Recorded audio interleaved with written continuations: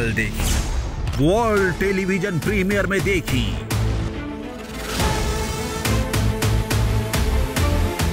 Bhojpuri star Kunal Tiwari, Amrish Singh और सीमा सिंह के film नागधारी 22 अगस्त रविवार शाम साढ़े छह बजे, फ़िल्म की भोजपुरी पर।